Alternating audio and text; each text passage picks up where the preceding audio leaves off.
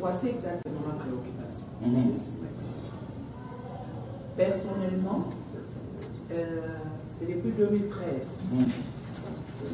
que je suis dans l'œuvre. Premièrement, nous appelons le soir, je suis dans l'œuvre. Mhm. Il y a quand même des gens autour de moi qui sentent un changement Mhm. par rapport à ce que j'étais quand j'étais dans le système Mhm. et le petit pas que je suis en train de faire avec le Seigneur. On me pose, mais qu'est-ce que tu as fait? C'est la même question que moi aussi je te pose à toi. Comment tu fais pour développer ton intimité avec le Seigneur? Très bonne question. Très bonne question. Alors, je reviens encore euh, à ce que je disais tout à l'heure. Dieu n'utilise pas les vivants.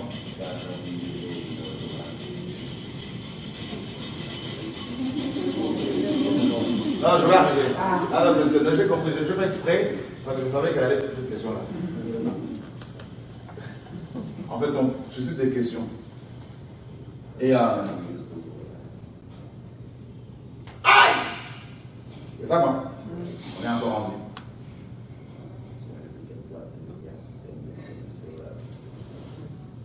Romains chapitre 6.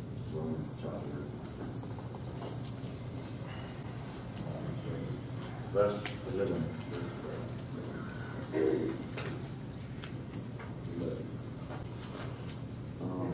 Um, Likewise, reckon ye also yourselves to be dead sin, but alive unto God through Jesus Christ our Lord. On peut lire en français. De même, vous aussi, considérez-vous comme morts au péché, Ah ah. mais vivants pour Dieu en Jésus-Christ notre Seigneur.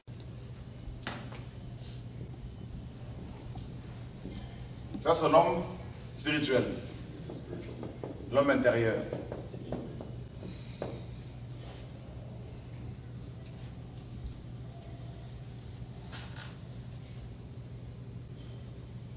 Ça, c'est la chair.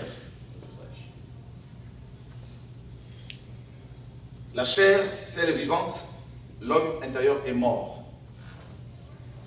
C'est ça être païen, inconverti. It is being inconverted, pagan.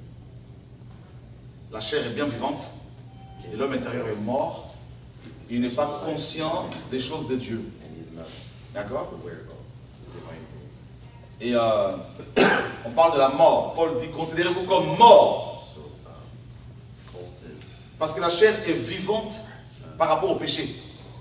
La chair, quand elle voit une belle femme, elle s'arrête, elle se met à regarder. Un bel homme, d'accord Donc elle est vivante. Elle réagit par rapport au sexe. Elle réagit par rapport à la nourriture. Elle veut manger, manger, manger, manger. Elle réagit par rapport à la colère, on arrive. Elle est bien vivante. Par rapport au racisme, bien vivante. Maintenant, quand on se convertit, qu'est-ce que Dieu fait? Il prend son épée, il nous tue. Vous donnez un coup de pied à un cadavre, il ne réagit pas. Vous le crachez dessus, il est mort. Et là, c'est là que Dieu commence à étudier. Il dit aux enfants, il dit, euh, le Seigneur dit à- aux, aux- aux- apôtres, Lazare, on lui dit que Lazare est malade. Il dit non, il faut qu'il meure d'abord. Avant que je l'agisse, il n'y a pas de puissance de résurrection sans la mort. Il n'y a pas de résurrection sans la croix. Tu vois, non? Donc celui qui veut être dans l'intimité avec le Seigneur, avoir le discernement, être dans cette sensibilité, il faut qu'il accepte la mort. C'est pour cela que moi, Dieu me tue tous les jours avec mes détracteurs. C'est lui qui les, qui les suscite, bien qu'ils ne sont pas de lui, pour tuer ma chair. That's why the Lord always uh, brings in people to basically me not to re- react anymore. If I really want Mon to écharpe. more, this is my thorn. Paul avait un ange de Satan pour fouetter. Paul had an angel of, the, of, of, of uh, Satan to flog him. He was uh, his thorn. You know this passage. Celui qui veut monsieur doit prendre sa croix. Whoever has, whoever Une fois par to semaine. Il faut prendre qu'il qu'il prenne la croix de quelqu'un d'autre. Ça, pour somebody else's cross. No, his own cross. En fait, c'est même pas comme ça. En permanence. Tu vois, non? Donc, plus ta, chair va être crucifiée, plus elle va diminuer, plus ton esprit va s'agrandir.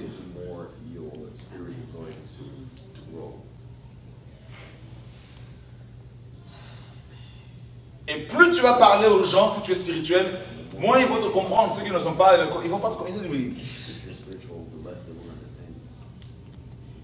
Tu vois? Regardez. Paul dit dans Ephésiens 4, Paul says in Ephesians uh, 4, verset 17. On peut le lire? Verse 17. J'aime beaucoup ce passage-là. Quelqu'un veut le lire, Olivier?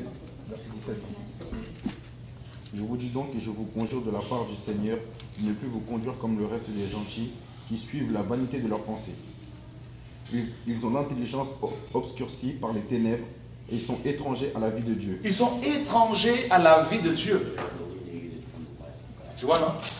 Donc, et à cause de l'ignorance qui est en eux, à cause de l'endurci- l'endurcissement de leur cœur. Ils ont perdu tout sentiment et, sont, et se sont abandonnés à la dissolution pour commettre toutes sortes d'impuretés avec cupidité. voilà. Donc, vous voulez avoir cette intimité avec le Seigneur. Moi, je me bats pour l'avoir de plus en plus. Et euh, comme je vous disais, par exemple, ce matin, à 3 heures et quelques, the morning. Ah J'étais KO, fatigué. Mais, et là, le Seigneur me fait comprendre, il faut prier. Comme ça, prier un peu, et je sentais la présence du Seigneur venir. J'ai eu la force. Ça m'a fait du bien de bien prier. Un peu. Le discernement. Tous mes enseignements que je donne, ça je ce n'est pas moi. Et euh, tu en même temps. Même quand il y a des grands programmes à Paris, Il n'y a pas une feuille, tu vois, j'arrive pas. Donc il faut le discernement. Il te tue, le Seigneur. Il te crucifie. Il te brise. Il brise ta chair, comme avec Paul.